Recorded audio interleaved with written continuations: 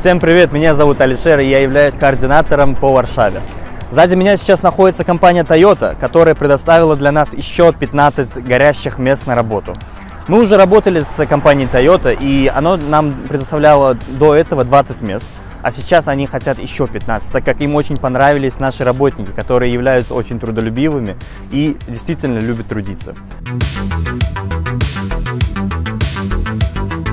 По самой работе это работа оператором, очень легкая на самом деле, так как сама работа заключается в том, чтобы смотреть за качеством автомобилей. Если там трещины, если царапины, а если есть, сообщать руководству по этому поводу.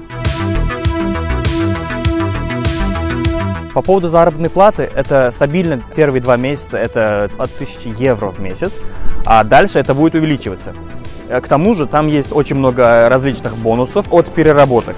Работа сама заключается от 8 до 10 часов. А если вы перерабатываете еще больше, то, конечно, вы получаете дополнительные бонусы. По поводу жилья, это очень популярно, и это все знают, то, что в Польше именно все работодатели предоставляют э, жильем. И это очень выгодно, так как вы не должны задумываться о жилье и рассчитывать свои деньги по поводу этого, потому что это все уже готово для вас. Так что, ребят, очень вас ждем. И действительно, сама, само руководство Toyota вас ждет. Очень горячие места, свайпайте вверх, смотрите наши видео и подавайте свои заявки.